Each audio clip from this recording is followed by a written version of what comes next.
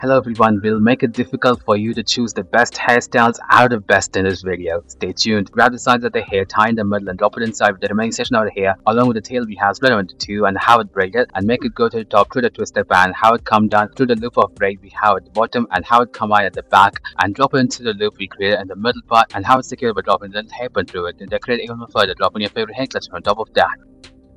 Get the sides of the hair, tie in the middle of the band and have a left section of the hair, a little strip of it and drop it into the loop we created. Do it totally three times on the left side and do the same on the right side as well. Then with the remaining tail we have at the center, how it's split into two parts and how it's split into three parts again and how it braided in a thicker manner. Then make the braid folded and how it go to the top and how it in place by dropping a little hairpin through it. Do the same for the right braid as well. And to enhance your hairstyle even more further, dropping your favorite hair cluster on top of it. Leave a few strands of hair on either side of your head and make it curly and grab the sides of their hair and have it braided and tie in the middle of the rubber band and have a very long hairpin through the braid. At the back section split them into two parts and have it braided and cross it each other and make it go to the top around the hairpin and have it come down and combine with the rubber band and stuff it inside by dropping little hairpin through it. And to decorate even more further, dropping your lovely little hairpin on top of the braid we have.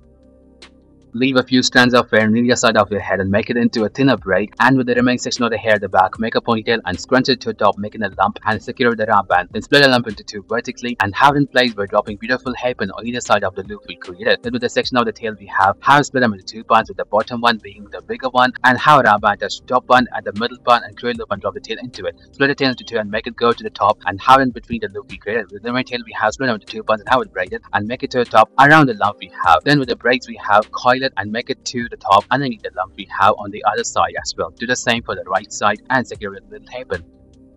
Have a little strands of hair on either side of the head and make it curly and with the remaining section of the hair at the back, make a ponytail, split the tail into three equal parts and have a rubber the top middle part and create a loop and drop the tail into it. Scrunch all the three tails to the top, make it as a lump and secure the rubber band. Then with the remaining tail we have, have a rubber touch the middle part and create a loop and drop the tail into it. Make the entire loop come around the lumps we created on the top and split the remaining tail into two and have it twisted and make it go around the lump we created and have it go underneath it and combine them with the rubber at the bottom. Then stuff it inside making it completely hidden. Then to decorate even more further, drop in your favorite hairpin how a ponytail and hold it from the top middle part and scrunch it to the middle one, making as a lump and secure the lump with a little rubber band around it. Then split the lump into two and press it against your head, making lovely loops. Then have it secured by dropping beautiful hairpin on either side of the loop created. Then with the remaining tail we have at the center, have it split into two parts with the bottom one being thicker and have top one a rubber and the middle part and create a loop and drop the tail into it. Make the entire loop go in the middle of the first loop we created and split the tail into two and have it come down at the bottom and secure the rubber band. Then with the remaining tail we have split into two and have it go to the top and secure with another rubber band and drop in a favorite hairpin in the middle.